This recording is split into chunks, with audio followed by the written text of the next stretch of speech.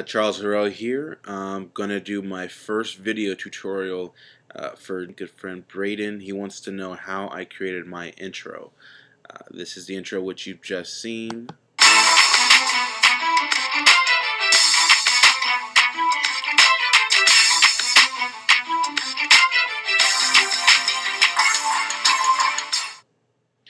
So that was actually pretty simple. I had a, a, good idea of what I wanted to do. I wanted something clean but edgy, uh, something blue. Because, uh, you know, obviously Blue Monkey Entertainment is a big part of who I am. Uh, and so I wanted to create something really fun. So uh, let's start it off. First things first, we want to go over the different uh, things that I have inside this video, the different um, items.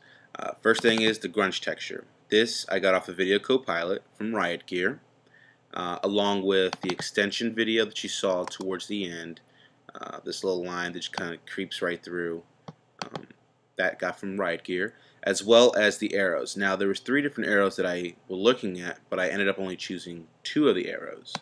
Here's one arrow, which you do see in the video. Here's another arrow, and here is the third arrow. This is the one that I chose. So the second one, I'll go ahead and delete that out of this uh, project file so there's no confusion as to where that's going to go. Alright, so the first things first, we're going to drag this texture into the um, composition, which I already have. Uh, now, when you did see the texture, it was gray and brown. What I did was I used a filter from Video Copilot called uh, Filmagic Pro. In this little area right over here, uh, I want to type underscore and then scroll down to enhance with cool.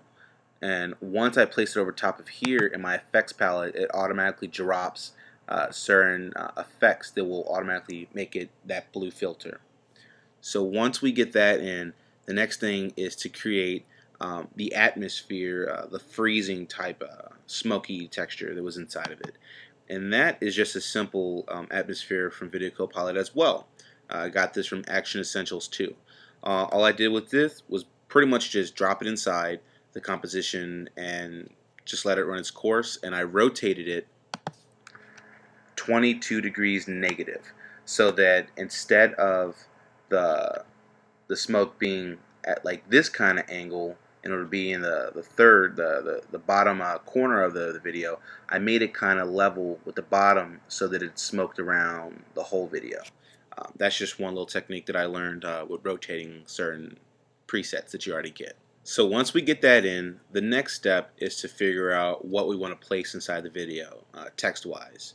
Uh, so let me go and turn on these layers, uh, turn on welcome to, and this was the first thing you saw. Uh, nice little graphic, it just slides in, you see it kind of, it's a 3D object, so it kind of like comes in like a door. And then the second one is smaller so you can't really notice for two, but that one slides in like a door as well. So what I did was uh, first thing is you want to turn uh, motion blur on your comp. You want to turn that on, and then you want to create the, the text by using the text tool up here. You just type in welcome, figure out your font, and uh, I'm going to press the letter U on my keyboard while I'm selecting on welcome so it can bring down all the keyframes that I'm working with. Okay. So the first thing we wanted to work with was orientation. Uh, right now we want to make it invisible as if it's not there. You see this red line just so you as the editor know it's there, but when the video is playing in real time, they don't see that. Uh, so what I did was I turned the opacity down to zero, and I go to what keyframe is this right here. This is uh, keyframe number four out of uh, one second, or frame four out of one second, um, and I turn the opacity down to zero, and then I go one frame over, and I turn the opacity all the way up to 100 so that um, you know people can see it. Because if I don't do that if I delete this right here then you can see it. Now you can't really see it because of the red line but if I play the video real time there's going to be a line right there for four frames and then welcome comes in. So let's undo that and forget about that. Um, so you want to have this at 100 and then you can leave it at 100 for the rest because once uh, this part right here comes up the welcome is actually going to disappear. It's going to be gone forever. And that's good so the second thing we want to do is work on our orientation. I use the Y coordinates because this allows me to move it left and right as like a door opening. I moved it to 78 degrees because at the position it is right there, um, that's going to be the best point for it to be almost impossible to see. But because motion blur is on, um, you can kind of see a little bit of the letters right here, but they kind of blend in with the smoke, so nobody really notices. Then I go five frames over to 10, and that's when I bring back the y-axis to zero, and that creates the closing door effect. Boom. And then I repeat that with two as well, but I do that the reverse direction. So same method. Then we have Charles Heureaux popping in. Now, what you don't notice while Charles Heureaux pops in is Welcome actually gets squished really fast. Why is that? Because Charles Heureaux drops from the ceiling and the floor. Boom. Now you can kind of see it, and then once Charles Heureaux settles, it's gone. Really simple. Um, that's simple keyframing at its best. That's just moving it from the top to the bottom. So let me show you how that looks. I want to go a few keyframes back at one second and five frames and I start the position let me zoom out of here a little bit I start Charles all the way up here and I keyframe the position of Charles up here and then I move five frames forward to where I want him to stop and then I just pretty much take him from the top and I just drag him down here and then I leave him where I want him to be and then I let that animate. Also with the motion blur on, it creates that blur effect. I duplicate this and add it onto Charles, or Heureaux actually, my last name, and then they both fly at the same time. And that's how that gets done. Um, now moving into the really cool part, the part that I really liked the most, um, was when Charles Heureaux kind of shrunk a little bit, and then you see official channel pop up that was again using the, the, the door effect where the item or the, the text is invisible and then it just slides out. Uh, but this time it kind of like slides from underneath of Charles Heureaux, right underneath this line, and just kind of like like a page flip, just flips right down. So how did I do that? I'm going to go all the way up to two seconds, and before two seconds actually happens, you're going to see Charles and Heureaux kind of like shrink down. So what I did is I just just took the scale option, keyframed on this uh, keyframe, which is a, a, minute or one second and 25 frames. Put the size it was at, and then went to two seconds, and then dropped it down to a little smaller, and then it just automatically fit into place. But now we got to work on official channel. So the same opacity rule applied with this one because uh, again, I don't want there to be a line sitting there and somebody's like, what is that line? And then all of a sudden they see what happens. So the frame before I'm ready for it to be visible, which is at 1 second and 29 frames, I make it uh, 0 opacity. Then we move over to 2 seconds and make it 100 opacity. And at that same frame, we take the orientation and keyframe it at 266 degrees on the x-axis. This will allow Charles Heureaux to we can't even see it. Where did it go? Oh, it's not even highlighted. Let me turn it on. Okay. This axis allows it to move forward and backwards like a little swing. You see that? So let's undo that. Go back to the beginning. That we want it to be at 266. So right now I turn it on. You see the red line. And then as it comes in, it just slides down Boom, and then it's there. And then that, that just plays for a few seconds. Now, I made this a little longer so that when I went into Final Cut and added the soundtrack, I can cut out whatever space I needed to fit the soundtrack. So I made it last five whole seconds. Okay guys, bear with me, we're almost done.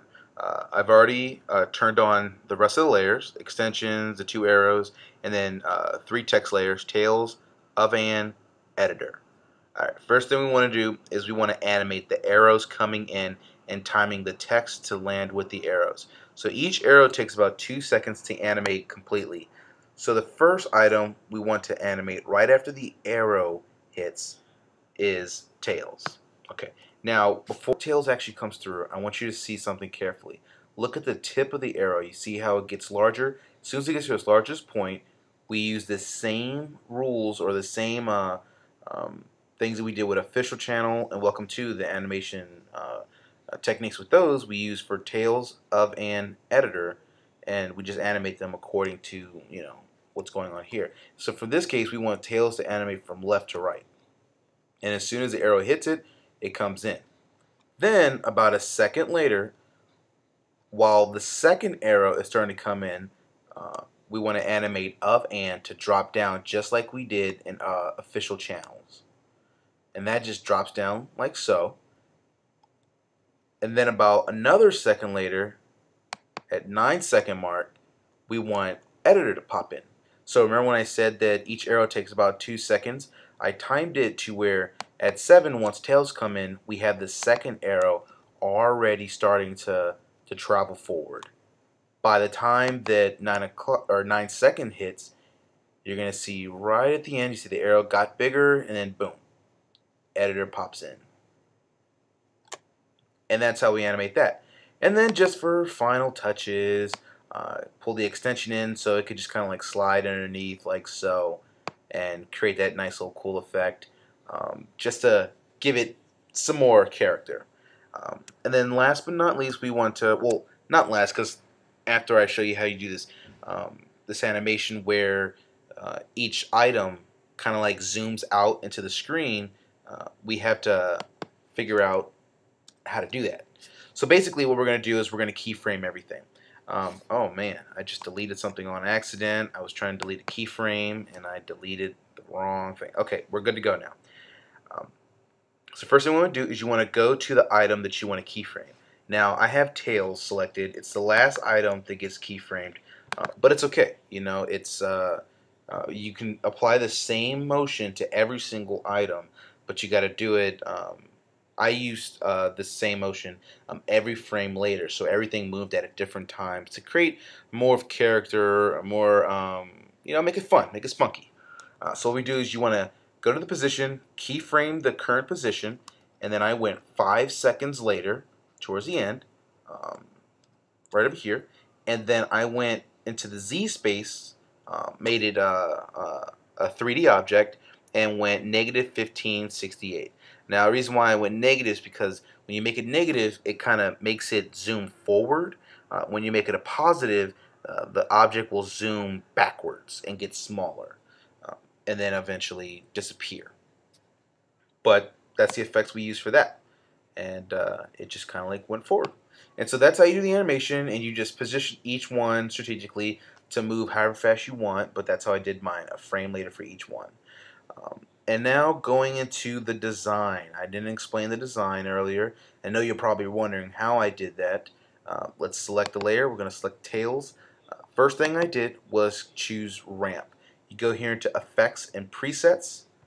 You want to click X and then start typing Ramp. To double click Ramp and then it's going to pop up um, start colors, going to be black, typical and then end color is going to be the typical white. It's always that way, but you can choose whatever colors you want. I simply chose white for the start color, and that's what you see on the top. And then I chose a nice, you know, um, blue. It's a little uh, soft, but it's, you know, it's it's nice blue that I like. Um, and so what we did was we take the the ramp coordinates, which are, let me move this box over a little bit so you can see better.